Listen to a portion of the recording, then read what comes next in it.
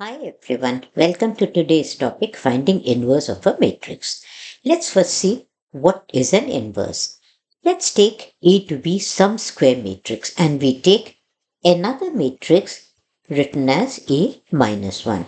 Now, when we post multiply A by A minus 1 or pre-multiply A by A minus 1 and we get the identity matrix I, the multiplicative identity I, then A minus 1 is called the inverse of A.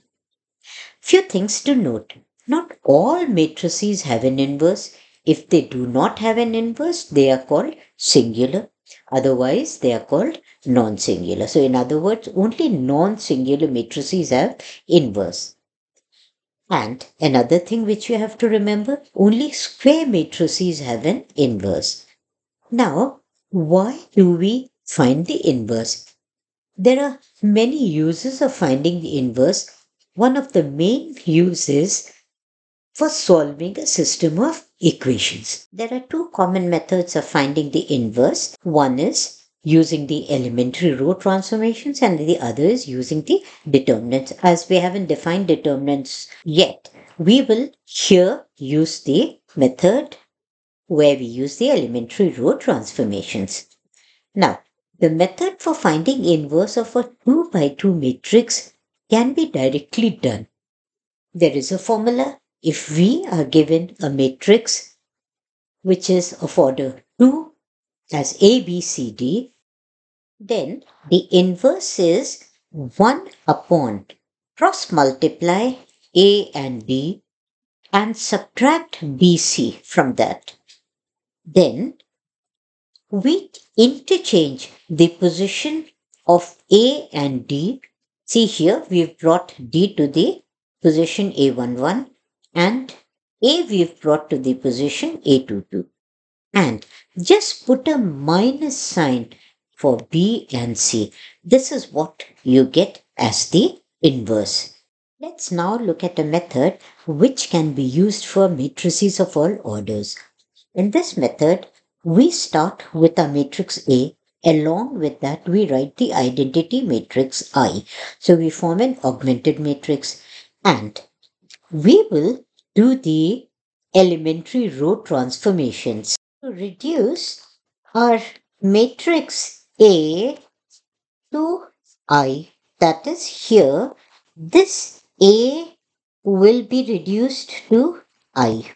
And whatever changes happen with I, they give us the A inverse. So this is how elementary row transformations help us in finding the inverse of a matrix. Let's come to some examples. In the first example, we are asked to find the inverse of a matrix A, 2, 1, 3, 6, which is of order 2, if it is non-singular. Now, how do we find whether matrix is non-singular or not? For that, we need to find the determinant. We haven't done determinants yet, but for time being, just see, determinant of a 2 by 2 matrix means we will take the cross product of the elements, that is 2 into 6 minus 1 into 3. And if this is non-zero, in our case, you see it is 9, which is non-zero, which means our matrix is non-singular. As the determinant, which is written like this, is non-zero. We can find the inverse. We'll do all this in detail when we reach determinants. So from the formula you have just seen, how do we find inverse directly? It would be nothing but A inverse is equal to 1 upon. Take the cross product A into D minus b into c, which you have already found is 9. Your a is 2, b is 1, c is 3, and d is 6. So you see 2 into 6 minus 1 into 3. And then what do we do? We will interchange the position of a and d. So 6 comes here 2 comes down and the position of 3 and 1 will not change. They will just get a minus sign. So our inverse is nothing but 1 upon 9, 6 minus 1 minus 3, 2. You can take the 1 by 9 inside and that will give the inverse as you know that when we take it inside, it will go and multiply with each element. So we will get 6 by 9 minus 1 by 9 minus 3 by 9, 2 by 9. If you simplify, you will get 2 by 3 minus 1 by 9 minus 1 by 3 2 by 9 as a inverse. Now this is the A inverse. If you want to check whether your calculations are correct or not, all you can do is just multiply A and A inverse. See, do you get the identity matrix? So let's do that. A is 2136 and your inverse was 2 by 3 minus 1 by 9 minus 1 by 3 2 by 9. I've multiplied the two matrices and you can see we get the product as I, which means that the inverse which we found is correct and this is our answer. Let's come to the second example. Here we are given a matrix A of order 3 and we are also given that the inverse exists and we are asked to find it. But if you want to check, we can see whether the inverse exists by finding the determinant. As I had mentioned earlier, determinant should be non-zero. For this 3 by 3 matrix, the determinant is 1. We'll write 2331 minus 2 times 2331 plus 3 times 2233. If you open up, you will get the value as 7, which is not equal to 0. So our A is non-singular. They have given that the inverse exists, but you have also verified that. Now, to find the inverse, we start with our augmented matrix AI. For that, we will write our matrix A, which is 1, 2, 3, 2, 2, 3, 3, 3, 1. Along with that, we will write the identity matrix I of order 3 and then we will do the elementary row transformations to reduce this to I. And whatever changes happen here, they will give us the A inverse. Now, as I had mentioned when we were doing the elementary row transformations, we have to go step by step. Start with the first column. Make the values below the pivot 0. And then we'll move to the second column. Now for that, we will take the transformation R2 is R2 minus 2 R1. And to make 3 as 0, we will write R3 as R3 minus 3 times R1. Remember, it's the pivot of the first row which is our reference point. So we are going to this pivot for doing our transformations. Now, this will give us the equivalent matrix as, and remember guys, whatever transformations you are doing, you are doing for A, I for the augmented matrix, full thing. Now this will give us 1, 2, 3. We have done no changes for the first row. And our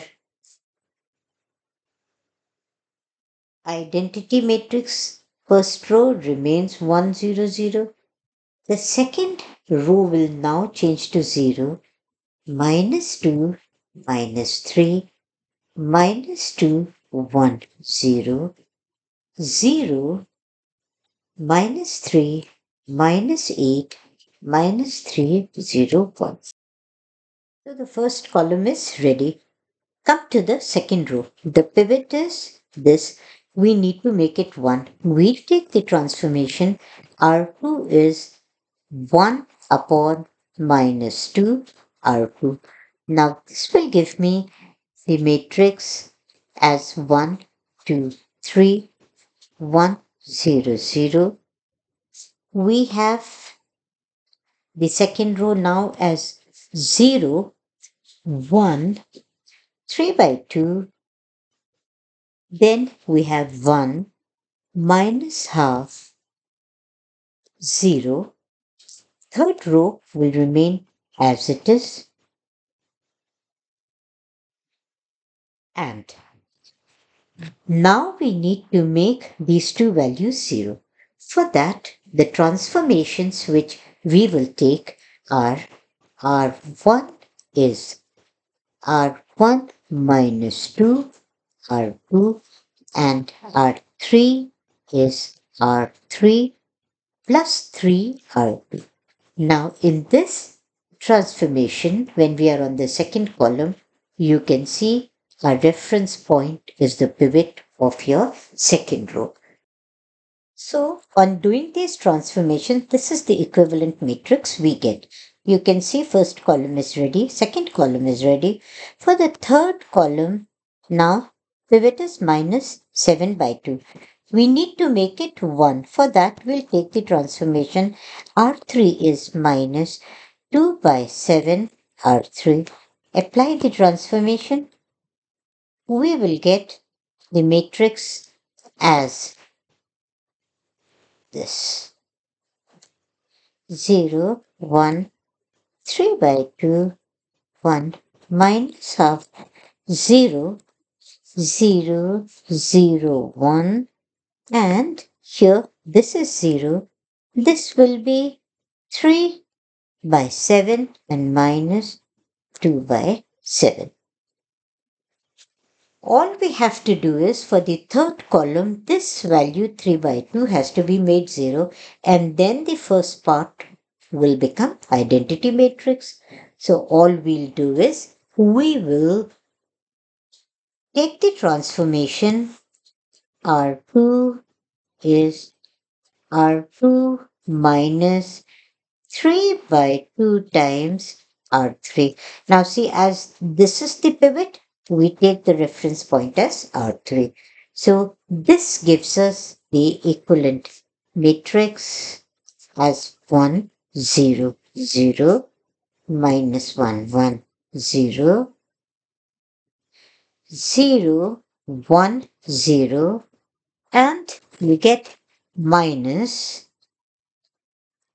8 by 7, 3 by 7, 0, 0, 1, 0, 3 by 7 minus 2 by 7. So this is the inverse, what we have here. Now, let me write it. A inverse is this part. So it is minus 1, 1, 0, 1 minus 8 by 7, 3 by 7, 0, 3 by 7 minus 2 by 7. We have the inverse. Again, if you have a doubt whether your answer is correct or not, you can quickly multiply A inverse by A from any side and see whether you get the identity matrix or not. Thank you for watching. The next video will be on introduction to determinants. For detailed notes and exercises with solutions, you can check my website profpritibajpai.com.